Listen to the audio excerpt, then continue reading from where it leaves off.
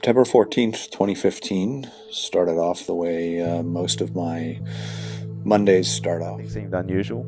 We left late as usual, and I came into work late as usual the next day. Woke to find an email to the detector characterization. arrivato questo primo email seguito da altri che confermavano che c'era stato qualcosa di importante, almeno My first reaction was it must be a blind injection. The observing run's not even started. Uh, my first reaction was, well, this is probably a blind injection. Dear crew, begins our director's email. We LIGO members are having a special meeting. Do you mean to say that this was not a blind injection? E o sinal de gorjeio no espectrograma do campo gravitacional, que era aparentemente idêntico em ambos os detectores. By the end of the day, I was convinced that we were onto something uh, pretty interesting. LIGO might have detected gravitational waves from a pair of merging black holes. There were no injections, and I got chills. And the plots showed a very nice interval in both LIGO detectors. And as soon as I saw them, I knew that we detected a black hole merger. It looked just like numerical relativity simulation. Tálcán kínált volt, mint csak kiabált volna, hogy itt vagyok. Сигнал был слишком сложный, чтобы быть случайным, и очень похож на тот, который ожидался от слияния компактных массивных объектов. We could be looking at gravitational waves for the very first time.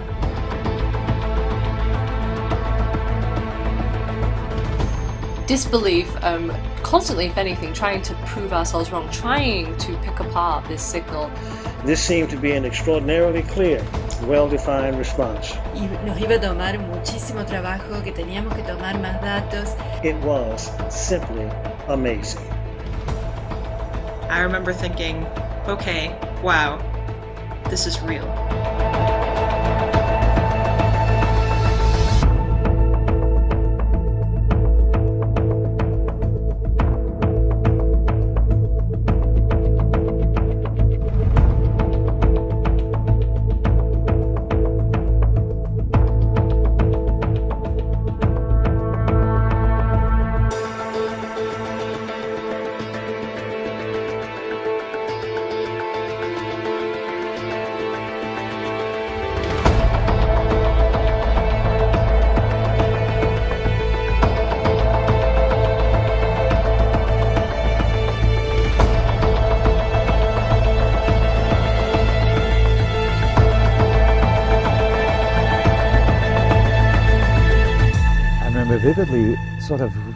Seeing something very strange. I thought it was very peculiar. They had, you know, they they this this standard thing about you know this particular instrument needed that, this particular action was going to be taken. It, but then there was a, a entry made that says we're going to stop doing, we're not going to have the the fix it morning on Tuesday, which is the morning that always was used to fix problems that you saw over the week. And I said, why? I said to myself, what's going on? Then I saw another thing which says, well, you know, don't touch anything on that piece of instrument because it's important that we don't change anything. And that made me very suspicious. What the hell is going on here, you know?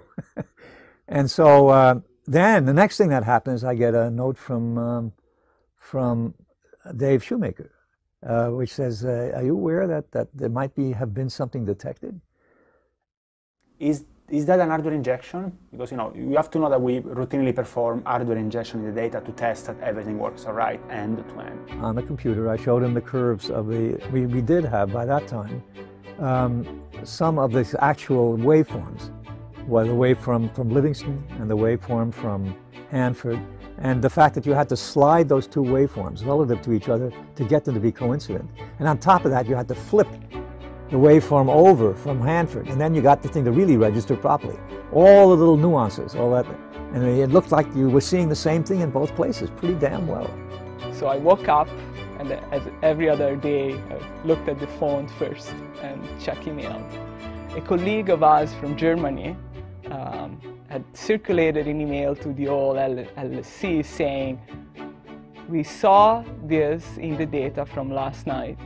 It's a remarkably clean event. It seems to us that it was not a signal intentionally injected to test the, the pipelines. Can you please confirm that indeed there was not such injection?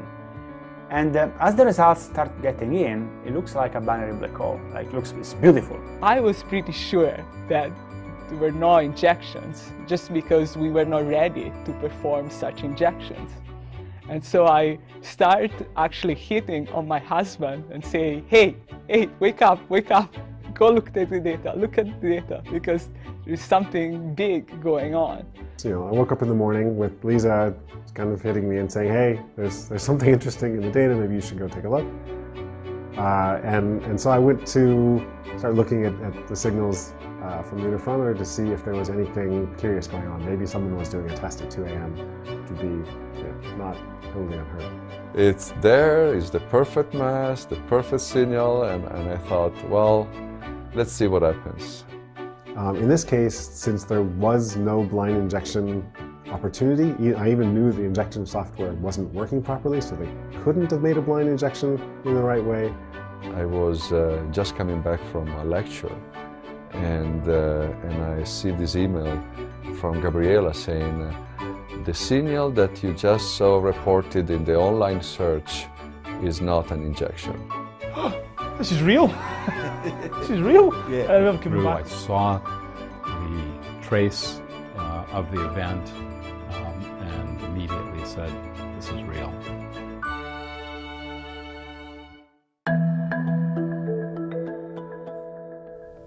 One of the things that we're trying to do is id- identify a number of different types of signals. So, a very common one that we've now detected multiple times is binary black holes.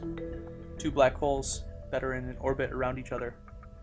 And they make a very distinctive signal as they get closer and closer to each other and eventually merge and then ring down like a bell.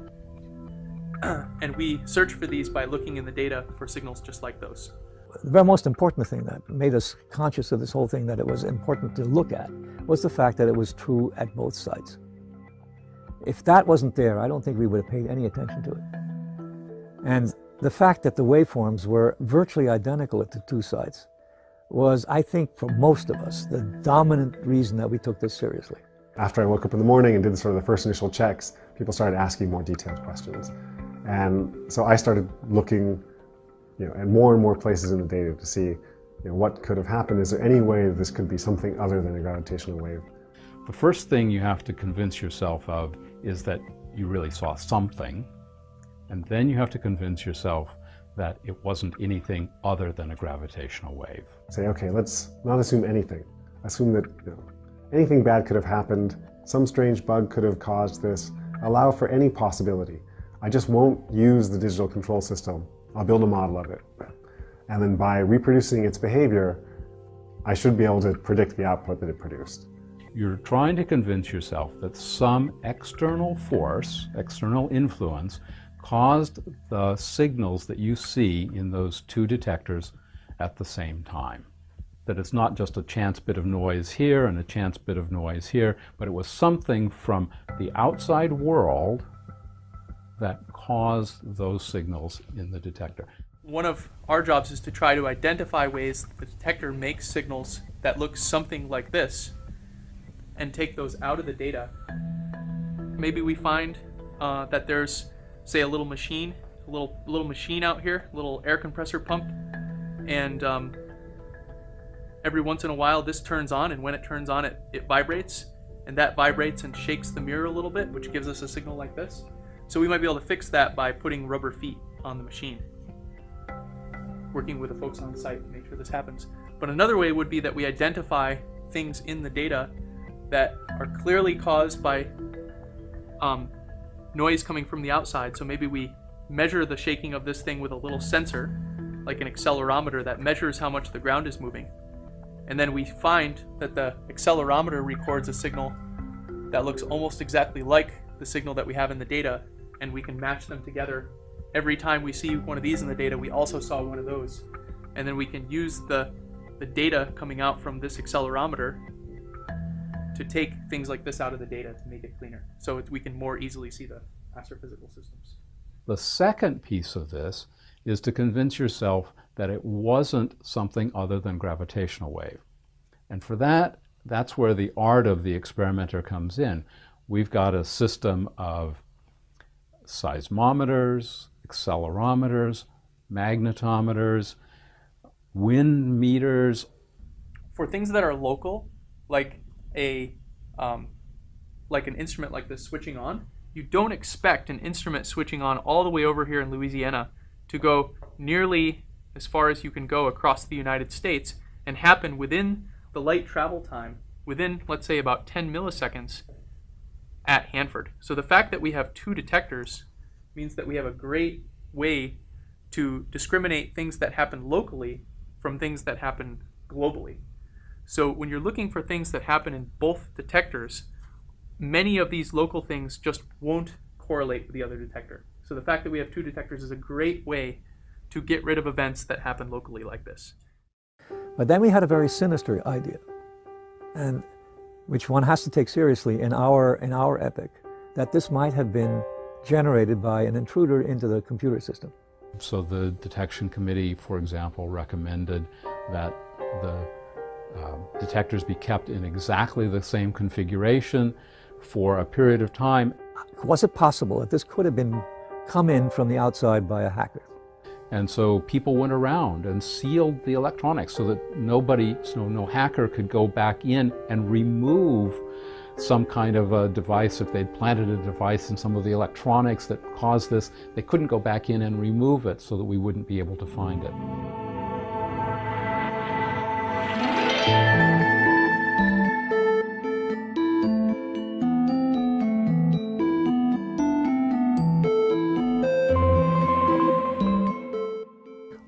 Found that the analog signals that were ahead of making the digital frame, which had all the signals in it, had the signal in it.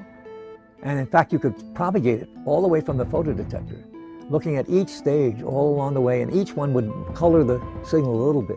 Some would add little high frequencies, some would diminish some of the low. All of that was correct. And by confirming that those, that the inputs resulted in the outputs as expected, as if nothing had been added, was able to show that really nowhere, anywhere in the system, even by any strange accident or weird bug in the code, that there was no way anything could have been added in the digital system.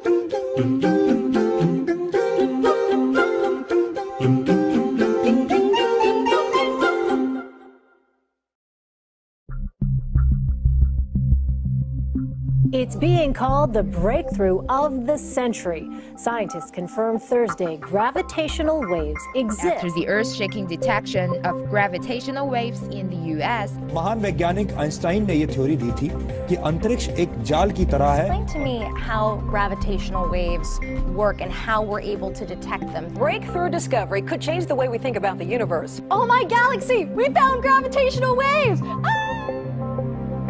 We have detected gravitational waves. We did it.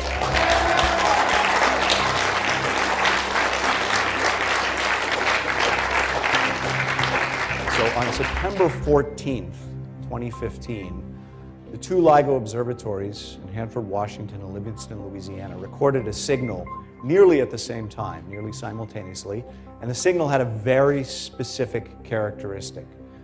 Characteristic of as time went forward, the frequency went up. And what was amazing about this signal is that it's exactly what you would expect, what Einstein's theory of general relativity would predict for two big massive objects like black holes in spiraling and merging together.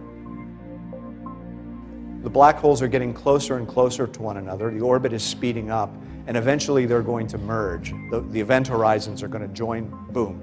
They produce one big black hole, which relaxes. You see a little bit of vibration there.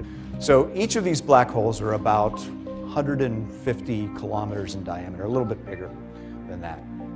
Take something that's 150 kilometers in diameter, pack 30 times the mass of the sun in that. Accelerate it to about half the speed of light. Now take another thing, 30 times the mass of the sun, accelerate at half the speed of light and collide them together. That's what we saw here. Uh, here's a Michelson interferometer, which is the device that does the measurement.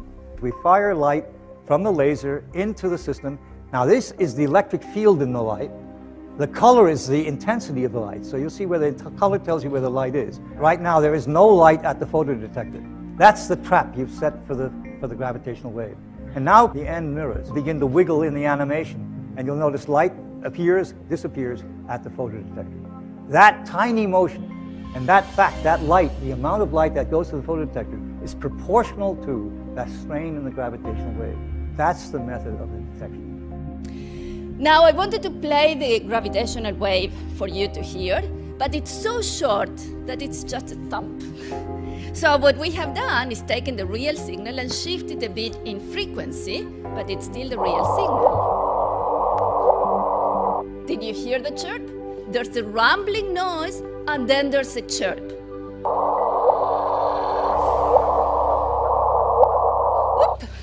That's the chirp we've been looking for.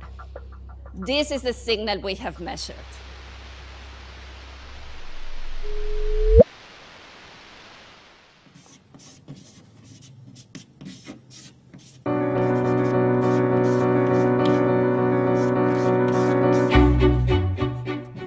To have Einstein completely verified. We haven't verified wormholes and a whole bunch of other things. That's coming. And but to me, this is uh, you know, I, as I say, I really would love to have been able to tell Einstein this story and watch his puss, what he looked like. It's 400 years ago, Galileo turned a telescope to the sky and opened the era of modern observational astronomy. I think we're doing something equally important here today. I think we're opening a window on the universe, the window of gravitational wave astronomy. It's been a very long road, but this is just the beginning. This is the first of many to come. Now that we have detectors able to detect these systems, now that we know that binary black holes are out there, we'll begin listening to the universe. Until now, we have only seen warped space-time, as though we had only seen the surface of the ocean on a very calm day when it's quite glassy. We had never seen the ocean roiled in a storm with crashing waves. All of that changed on September 14. I'm struck by how this represents more than just a new generation of observation. It's seeing our universe with new eyes in an entirely new way.